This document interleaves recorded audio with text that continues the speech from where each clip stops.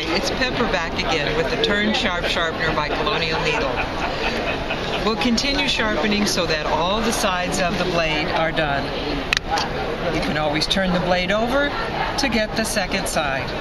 Again, make sure to put a tiny bit of water on the wheel just before you sharpen.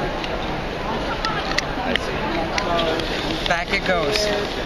And then we'll end with turning the sandpaper wheel over so that you only get the dark, the silicone sandpaper on that side. Again, it's wet already, so we're in good shape there.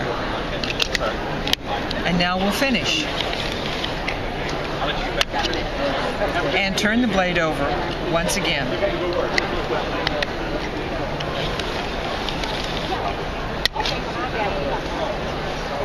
You can use this sandpaper wheel up to a hundred times.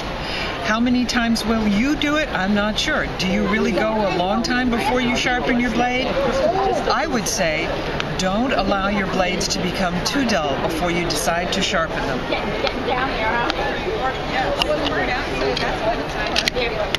When you're using the, the, blade sharpener, only go in one direction and always remember to use a little bit of water on the sandpaper wheel. If you're a left-handed person and this sharpener belongs to you, you'll be going in the opposite direction.